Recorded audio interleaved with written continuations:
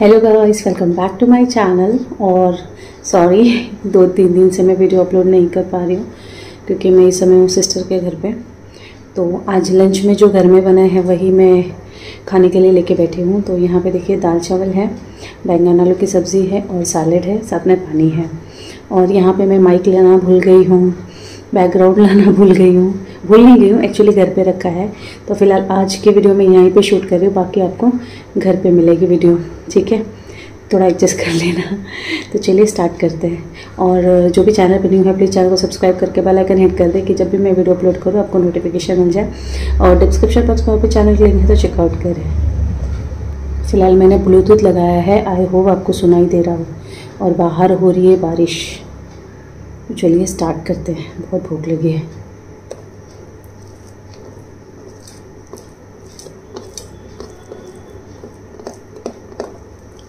First bite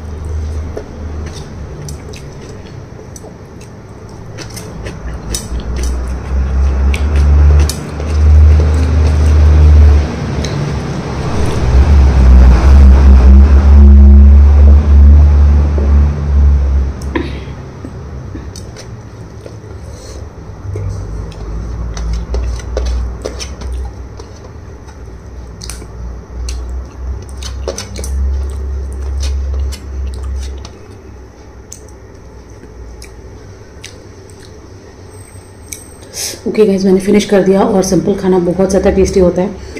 अगर आपको अच्छा लगे तो लाइक करना, मिलते हैं नेक्स्ट वीडियो के साथ। बाय